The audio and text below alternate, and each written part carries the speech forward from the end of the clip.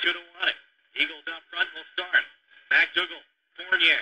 The back end, Metcalfe and Havrenka. They drop the puck, and we're underway from center 200. And right off the draw, we're going to have a fight. Sandercock and Metcalfe at center ice.